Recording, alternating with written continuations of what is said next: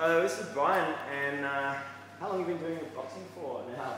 I think two, uh, 2005, six years. Five, six years. Yeah. awesome. And uh, you're not a pro boxer. I know you look like one, of course, but you, you've got a normal job. And, Yeah, yeah, yeah. I'm just a designer. Yeah. Nine to five. Um, it's good to get out break away from the office routine. Get out, do a cross, cross the board in uh, workout. That's good. so it's fitness. It's fitness. Doing It's, it's a good workout. Good cardio. Yeah. I'm particularly good runner, so it's good for that. And stretches at the end.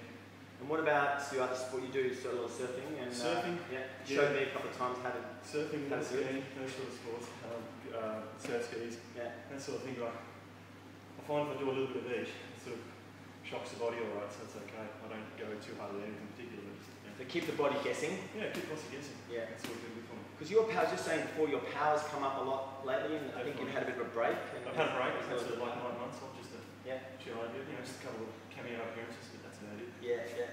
Yeah.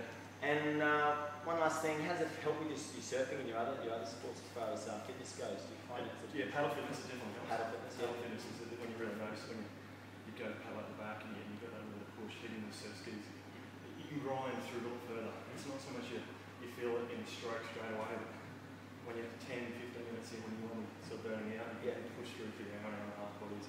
Yeah, right. It's good for that. And getting, what about people getting started? Would you recommend what they take it easy, or how, would you have any tips for people getting start, getting started, just to get into it? I think just get into it. I think Yeah. like, just the, the little techniques at the start, like just Yeah.